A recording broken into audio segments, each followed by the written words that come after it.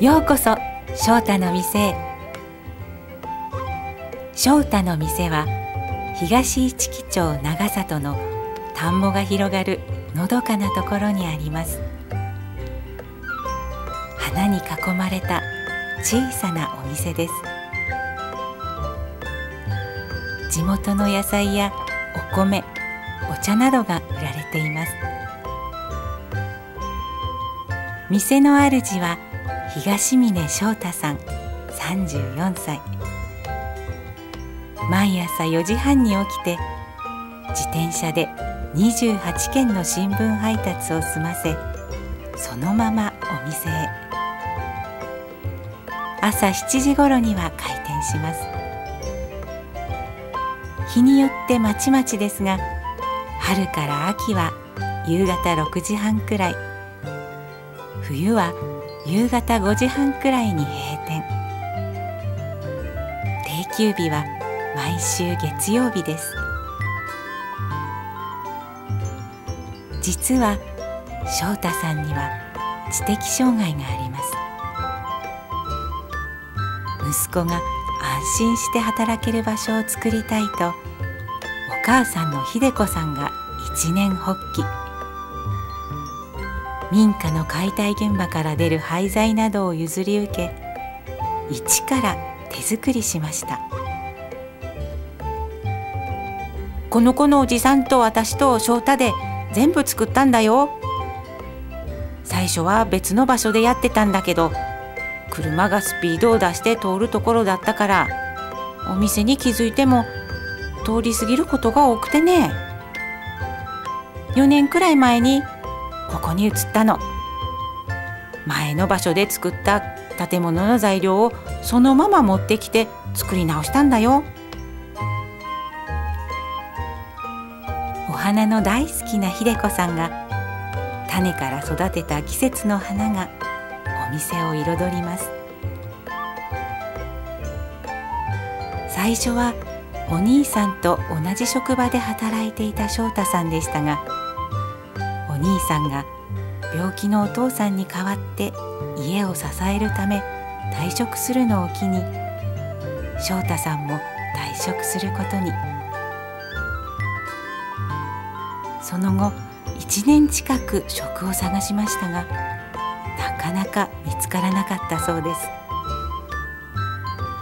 そこで秀子さんは自分が畑で育てた野菜を売るお店を作って翔太さんに任せることにしたのです。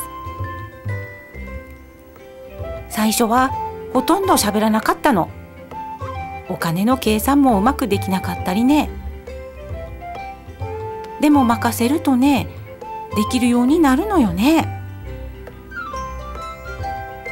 翔太さんは接客もお勘定も一人でこなしています。地元でおなじみの店となった翔太の店。今では地元の5人の方々が野菜などの商品を持ち寄っています。そのうちの一人久保蒔恵さんがちょうど野菜を持ってこられました。今は野菜が少ない時期だからね。あんまりないんだけどね。少しの量でも毎日持ってくるようにしてるの。品物がないとお客さんが来なくて翔太くんが寂しそうだもんね。近所の友達にも声をかけてなすび一本でもいいからって分けてもらってくるのよ。翔太くんは正直で真面目。少しでも足しになればって思ってね。店には常連のお客さんがやってきます。翔太くんは真面目で正直一辺とおまけに安いし。だから来るのよ。とお客さん。翔太さんの人柄がお店一番の魅力のようです。お客さんがいない時翔太さんは近くの川で魚を見るのが楽しみです。どれも取らないから大きいのがたくさんいるよ。そんな翔太さんのためにお母さんがいいものを作ってくれました。